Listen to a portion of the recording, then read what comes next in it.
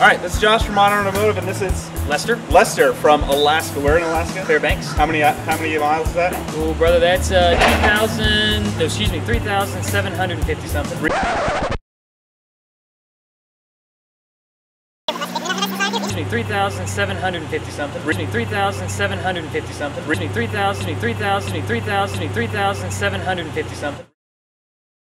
How'd you find this car? Carfinder.com. Carfinder.com. Yeah. Came all the way down here just for this car. Well, I mean, we got family here. You but family this too? is funny because it's actually on the way, and we took I-40, so we went all the way down to Las Vegas to visit some friends. We've been on I-40 ever since. Oh wow, here.